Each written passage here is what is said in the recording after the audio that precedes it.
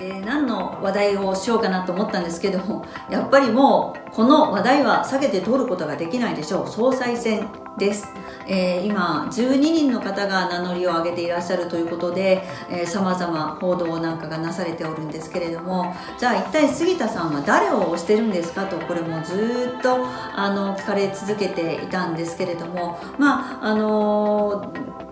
ずっとね私あの高市早苗先生の準備の集会なんかにも顔を出させていただいているのでもうほとんどの方々はあ杉田美桜は高市早苗先生をやるんだなっていうようにおっしゃってくださってる方もいらっしゃってマスコミも大体そういう見方をしてくださったんですけれども、まああのー、私の口からはっきりそれを申し上げたことはまだ一度もなくてですね、えー、どこかで言わなきゃいけないなというふうに思っておったんですけれども今日しっかり発表させていただきます、えー、私は、え高市早苗先生の推薦人として名前を連ねるという形で、えー、今回も高市先生をしっかりと支えて応援していこうというふうに思っております。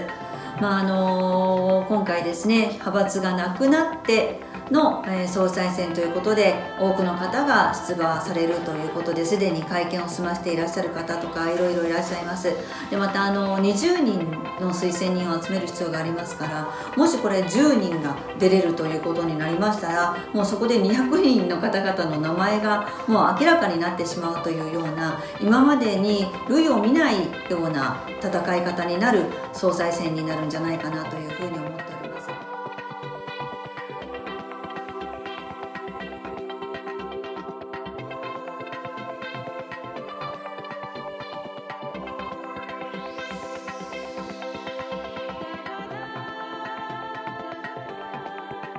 他にも応援したい先生はいますあの例えば青山茂春先生記者会見を拝見させていただいてあのすごくはっきりはっ政策をおっしゃってくださってその一つ一つが納得がいく政策だったのでですねまた私の支援者の中には青山先生を応援してくださいというようなことでおっしゃってくださる方も多くいらっしゃるのでですねあの高市先生の推薦人になっておりますけれども青山先生にもぜひ頑張っていただきたいなというふうに思っておりますしまた若手の仲間がたくさんをしていらっしゃるあの小林孝之先生も私も講演会を聞いたことがありますが本当にしっかりとしたあの方だなと思ってまして特にあの高市先生の前の経済安全保障のあの大臣をしていらっしゃったということでその分野では本当にピカイチの方だというふうに思っております。あのそういった方々を中心にですねやっぱり自民党保守が引っ張っていくというような形が、えー、皆さんによく分かっていただけるような、えー、総裁選になればいいなというふうに思って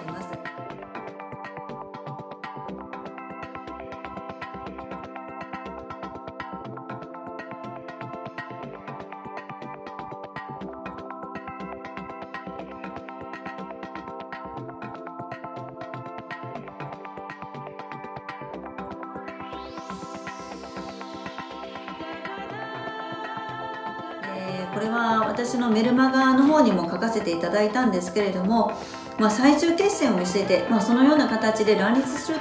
ようなあの総裁選になりますので1回で過半数を取れるということはなかなか難しいというふうに思っておりまして最後は、えー、残った2名の方が決選投票に臨むという形になるんです。その時にはやはり保守系の方々が何人か立っていらっしゃった方があの一致団結しやすいと、まあ、最初から一枚岩になればっていうような意見をおっしゃる方もいらっしゃるかもしれないですがそうすると決勝戦に臨んだ時にですねフランスのあの選挙みたいにですねあの2位3位連合とかっていう形であのタッグを組まれてしまうと1回目で1位を取ったとしてもひっくり返されてしまうというようなことも十分考えられますからそのためにもまあ複数人の保守のあのことを考え保守の考えを持つ方が、えー、出られることが望ましいんじゃないかなというふうに私も考えております。